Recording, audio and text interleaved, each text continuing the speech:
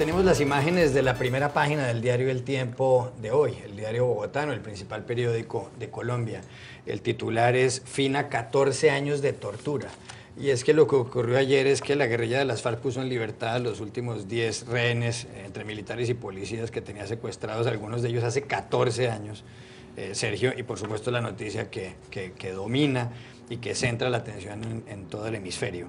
La primera pregunta que le tengo, usted que ha seguido de cerca todo esto, es ¿por qué se llegó a esto? ¿Por qué las FARC terminaron eh, poniendo en libertad a estos hombres?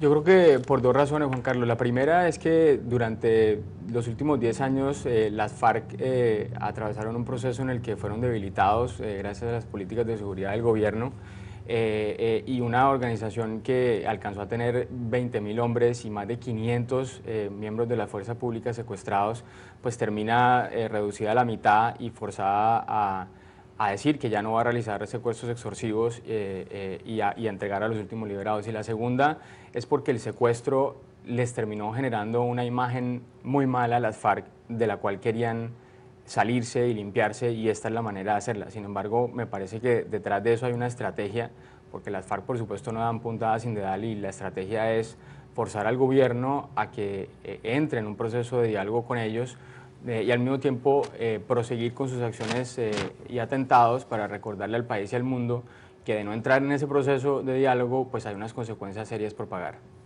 Pero si siguen las FARC, Daniel Pacheco, si siguen las FARC secuestrando, se podrá abrir la puerta a una negociación, porque el presidente colombiano Juan Manuel Santos anoche decía justamente que esto ni siquiera era suficiente, haber liberado a 10 hombres que deben liberar a los, a los secuestrados civiles que tienen, que no se sabe cuántos son, hay cálculos de 400. ¿Puede haber un comienzo de negociación en medio de, que siga habiendo hostilidades en Colombia?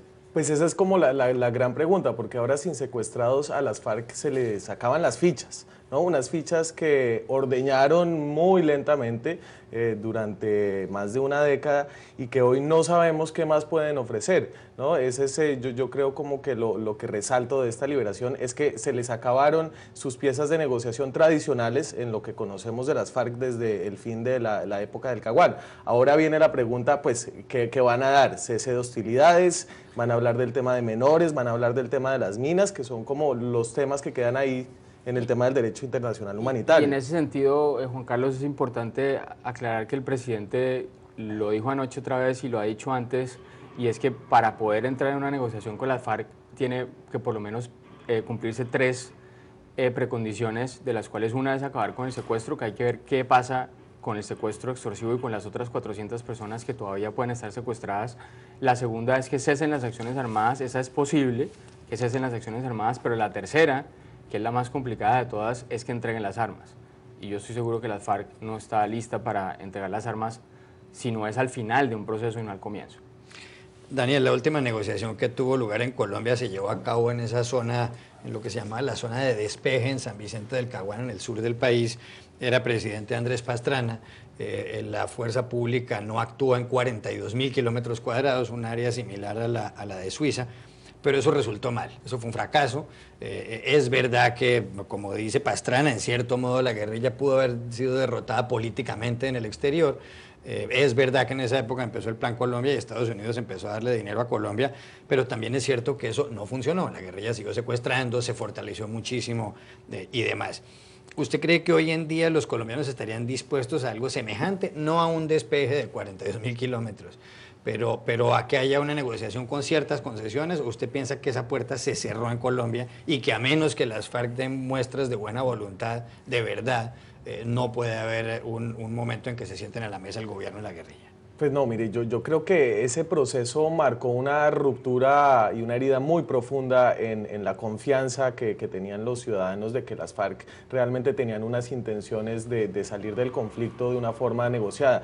Yo tenía 16 años eh, en ese momento, es decir, he vivido casi toda mi vida desde, desde una época post-Caguán y de lo que siento de, de la gente que, que, que, ha crecido bajo la seguridad democrática y bajo el Plan Colombia, eh, es que hay una mentalidad guerrerista de sometimiento a las FARC. Entonces creo que tiene que haber unos gestos de muy buena voluntad y tiene que haber además unas muestras de constricción eh, de las FARC que realmente son, eh, pues, impensables y poco características de lo que conocemos hasta ahora de las FARC con la que hemos vivido. Claro, esa estas FARC pues, han cambiado mucho, hay muchos que se han muerto y esa es un, poco una, una, incertidumbre que va a pasar con, con ese nuevo liderazgo.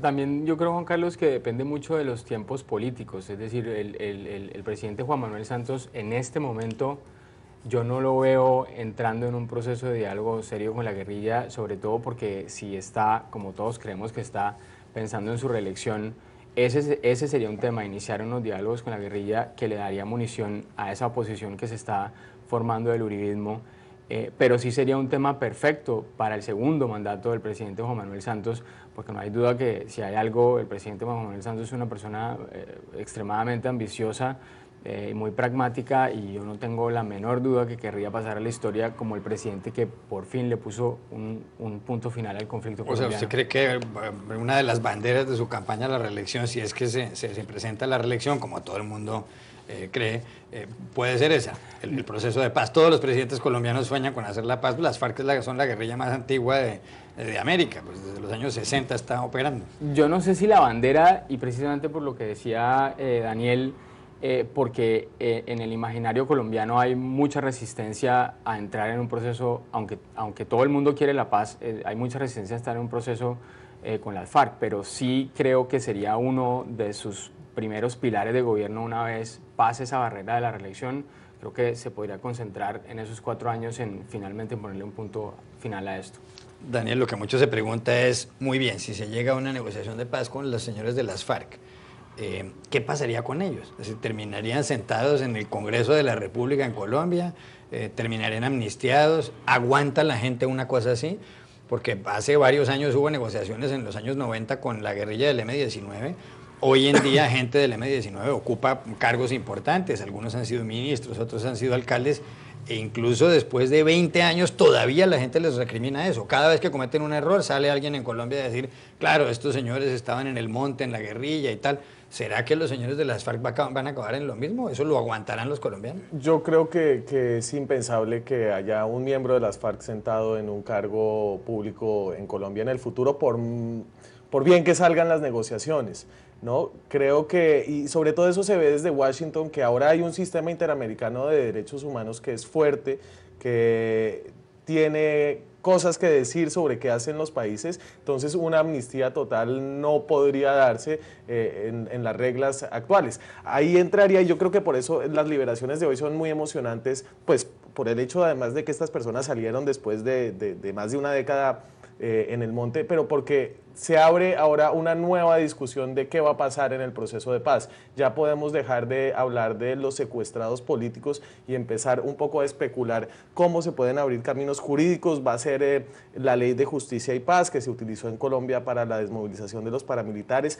Va a ser una nueva ley para un nuevo proceso transicional. Aguantaría Colombia otra discusión eh, jurídica de ese estilo, negociando penas por eh, información, en, en unas concesiones que son muy complicadas y como usted notaba, con una campaña presidencial que ya no parece tan lejana. Y yo estoy de acuerdo en que el tema, el tema de la paz con las FARC sería una difícil bandera electoral. Bueno, además han cometido delitos de lesa humanidad. Sí, y el, y el mundo, Juan Carlos, ha cambiado mucho eh, eh, eh, desde que el M-19 se desmovilizó y yo lo miro más un proceso similar al que se realizó con las autodefensas y, y de hecho ya existe una plataforma que es el marco jurídico de paz que se está que, que, ha presentado el gobierno y que, y que se va a tirar en el Congreso y en ese marco jurídico para la paz no se contempla la figura de que personas que han sido eh, acusadas o que han cometido crímenes de lesa humanidad puedan llegar a desempeñar en algún momento sus vidas. Pero Sergio, usted, ¿usted, cree, por ejemplo, que, que Timochenko eh,